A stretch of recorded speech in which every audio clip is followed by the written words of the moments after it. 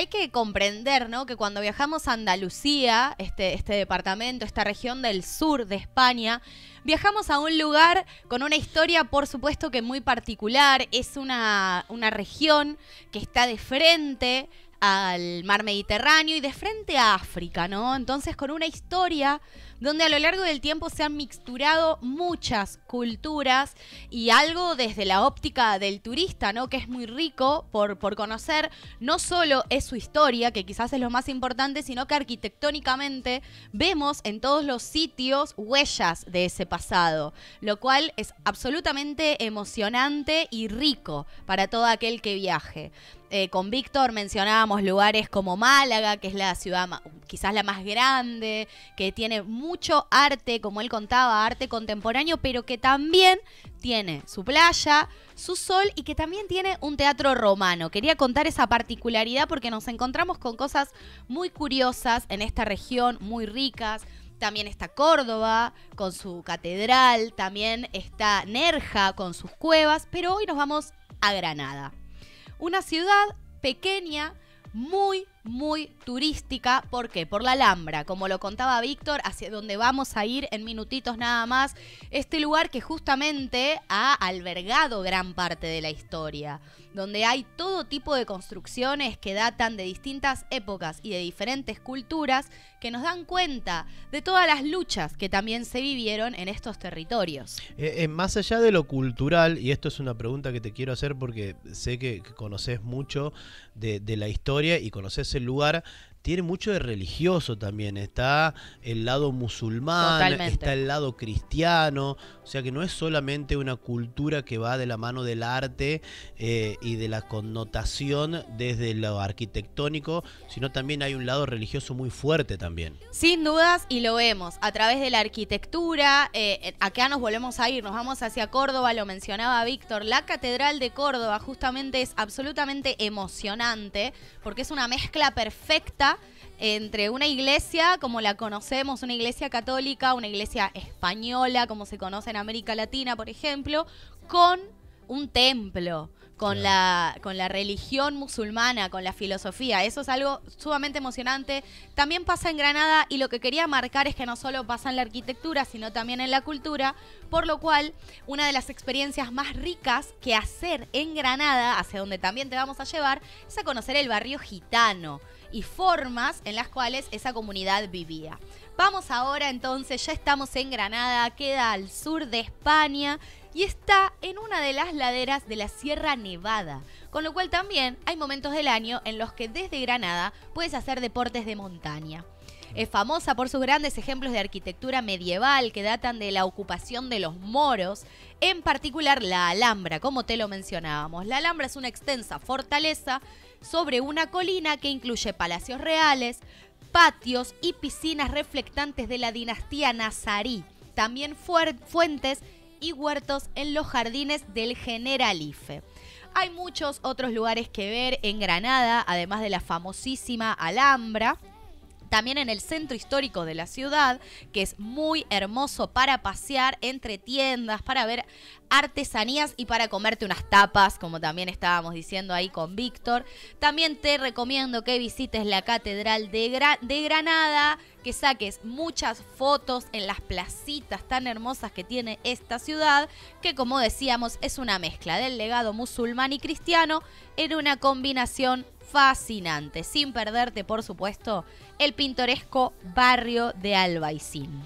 Bueno, dejamos de lado eh, unos segundos eh, la historia y la cultura de Granada para empezar a aconsejarte por si estás planeando un viaje para hablar un poco de la hotelería en estos momentos en la actualidad de Granada, que es muy variada porque es un lugar a donde puedes encontrar mucha hotelería, pero específicamente hotelería de lujo.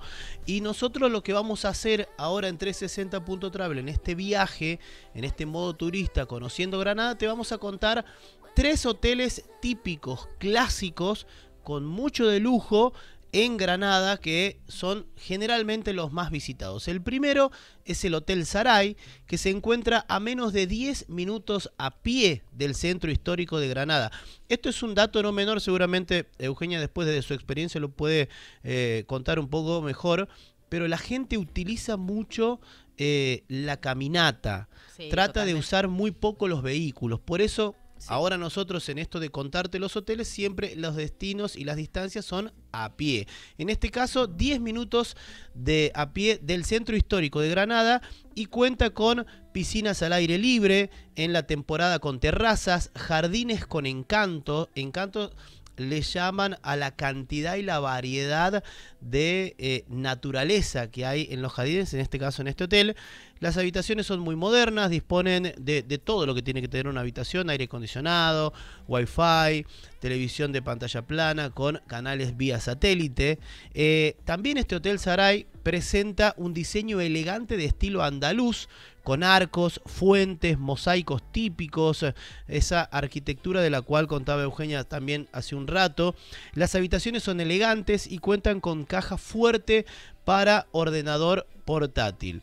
Eh, lo más importante de este hotel es que está al lado del Palacio de Congresos de Granada, a solo 150 metros de la parada del autobús del aeropuerto y a menos de 2 kilómetros del Palacio de la Alhambra y del barrio Albaicín, que es uno de estos barrios que contábamos hace un rato. La noche en este hotel para dos personas es de 8 mil euros la habitación más económica ahí nosotros en donde empezamos a contarle de que sí hay mucha hotelería, pero la gran mayoría es una hotelería de lujo. El segundo hotel que te vamos a contar es el Hotel Andalucía Center, que se encuentra a 200 metros del Parque de las Ciencias de Granada. Es un hotel un poco más moderno que el anterior.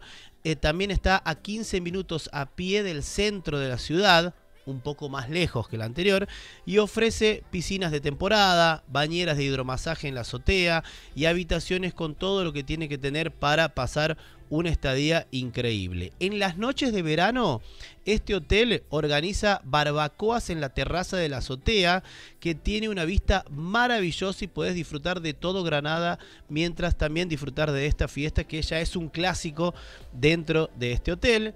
Eh, el personal de recepción está disponible a las 24 horas y por último, el hotel está muy bien comunicado con la autovía A44 el Parque Federico García Lorca y se halla a 10 minutos como lo contábamos. El precio de este hotel es aproximadamente de 8 mil euros la noche. Entre los hoteles más importantes, después queda el tercero que te íbamos a contar, que es el Hotel Barceló Carmen de Granada, en donde la noche de este lujoso hotel oscila entre los 7.500 euros y los 14.500 euros. Bueno, tres hoteles en, un, en una hotelería muy dinámica que tiene muchos aspectos, pero en donde siempre se destaca la hotelería de lujo.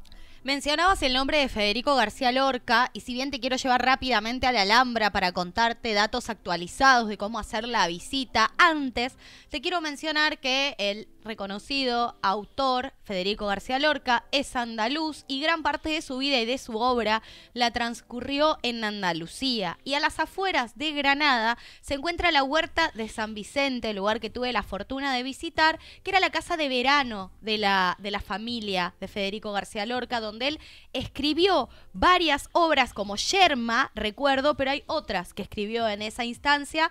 Puede decir, es una casa museo, a visitarla a muy poquitos kilómetros de Granada, es a las afueras de esta ciudad donde puedes eh, visitar entonces la huerta de San Vicente, casa de verano de Federico García Lorca. Ahora sí nos vamos a la Alhambra, el paseo más esperado. Como te contaba, este es un complejo monumental sobre una ciudad palatina andalusí situado en Granada, España. Consiste en un conjunto de antiguos palacios, jardines y fortalezas inicialmente concebidos para alojar al emir y a la corte del reino nazarí, pero más tarde se utilizó como residencia real castellana y de sus representantes.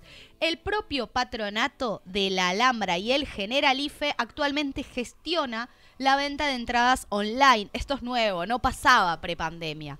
Ahora tienes que entrar a la página web tickets.alhambra-patronato.es tickets.alhambra-patronato.es para sacar las entradas, que vos sabes que las tienes que sacar con antelación porque hay muchísima gente que visita este monumento. Tienes que seleccionar en la página web la sección Alhambra General para poder tener acceso a todos los espacios visitables del recinto. Vas a tener que seleccionar un día y una hora para entrar a los palacios nazaríes. Las entradas se pueden comprar hasta dos horas antes de la visita, pero normalmente se agotan unas tres semanas antes.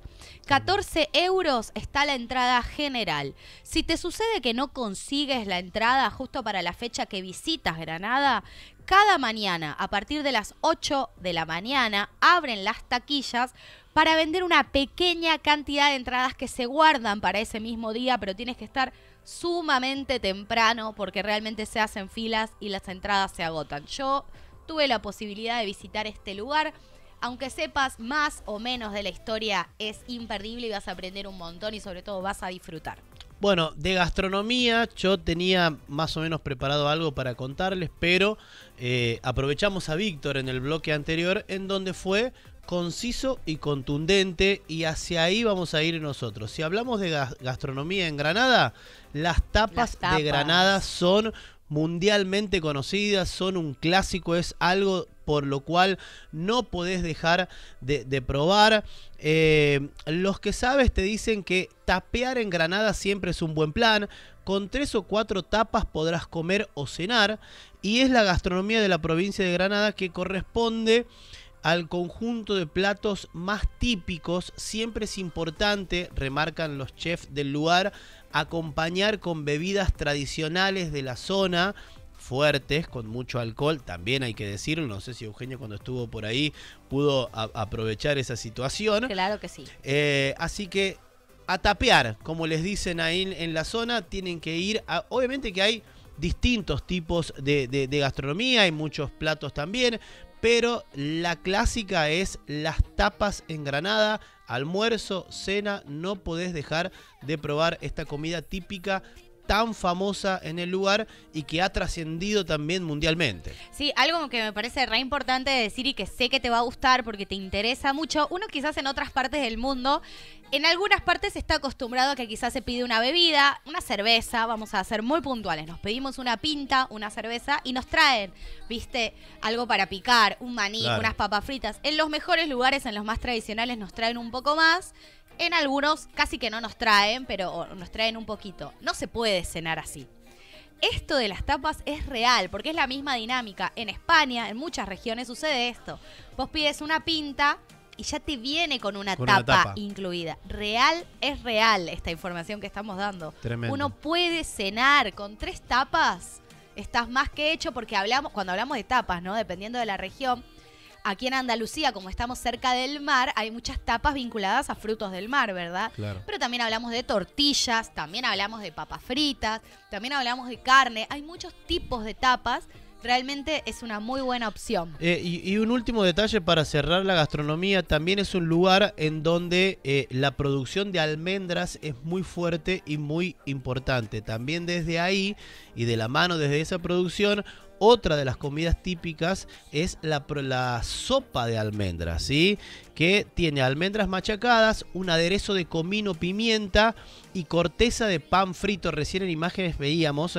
Esa también es otra comida clásica en Granada que no podés dejar de probar si vas a este hermoso lugar. La sopa de almendras y las tapas. Esa es la gastronomía básica y clásica de este lugar que si vas claramente, como te marcaba Eugenia, no puedes dejar de probarlo. Último paseo, ya estás en Granada, te hospedaste, visitaste la Alhambra, comiste tus tapas.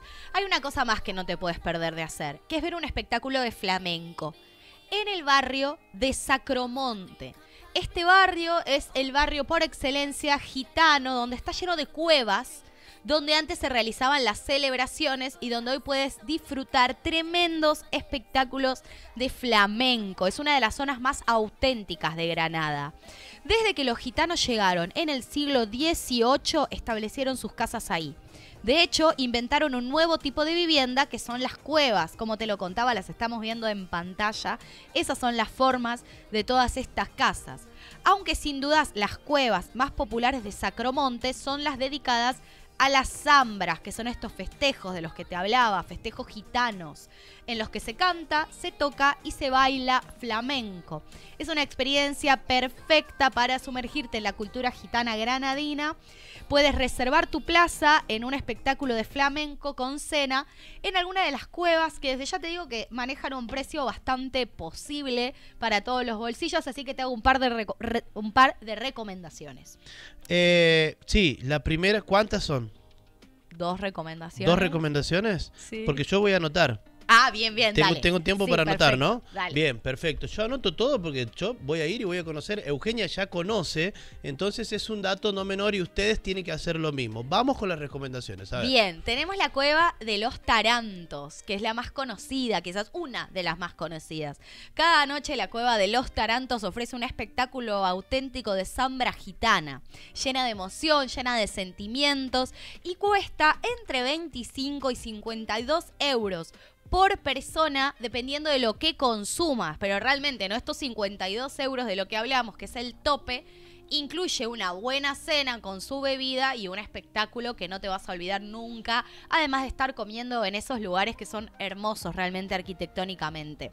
Y luego, en realidad, todas manejan un precio parecido. También te recomiendo, esta teníamos la cueva de los Tarantos, también te recomiendo otras cuevas como la Alborea, y Cueva de la Rocío. Así que ahí anotaste bien. Hermosas las imágenes que estamos viendo del, del barrio de Sacromonte. Realmente yo fui a caminar de día también y es hermosa. Sacromonte fue la cuna del flamenco en Granada, en Andalucía, en España entera. Pero antes hay que saber que el flamenco es un estilo de música y danza propio de Andalucía, anteriormente conocido como cante hondo o cante grande, y es la expresión más representativa del folclore de esta región. Su popularidad comenzó a crecer en el siglo XVIII y algunos años después el flamenco adquirió fama y se crearon los cafés cantantes, locales donde el público canta a modo de actuación en vivo el flamenco siempre se ha identificado como un arte del pueblo. Por esta razón, algunos miembros relacionados con la generación del 27, como Federico García Lorca y el compositor Manuel de Falla, organizaron el primer concurso de cante flamenco celebrado en Granada en 1922. En noviembre de 2010, la UNESCO lo declaró como Patrimonio Cultural Inmaterial de la Humanidad. Además, es Patrimonio Cultural inmaterial etnológico andaluz. Bueno, flamenco, sin falta. Impresionante cómo la cultura, el arte, la gastronomía, en este tipo de lugares en donde yo obviamente agendé porque eh, sigo los consejos de mi compañera, eh, es eh, forma parte de lo que es la historia viva de un lugar que nosotros queríamos que conozcan, querían que queríamos que en este modo turista viajemos juntos, tuvimos el placer eh, de, poder tener a Víctor también, que tiró varios ítems y, y, también algunos consejos de qué cosas pueden o mejor dicho, no pueden dejar pasar si van a este hermoso lugar que es Andalucía, España, Granada. Ya que estamos también, no sé si lo dijimos en algún momento, pero en este modo turista también queremos que ustedes, que están del otro lado por ahí, nos escriban en nuestras redes sociales qué lugares les gustaría conocer, qué lugares les gustaría viajar imaginariamente de la mano de 360.travel. Nos escriben en nuestras redes sociales y nosotros armamos y hacemos este modo turista que hoy fue de Granada, me quedé con ganas de más tapas, para qué le voy a mentir, soy malo bailando, pero me gustaría aprender a bailar flamenco. ¿Usted cómo es con el baile del flamenco? ¿Bien? No, no, no sé especialmente bailar flamenco, pero no podemos animar. ir a las cuevas y animarte a bailar. Exactamente.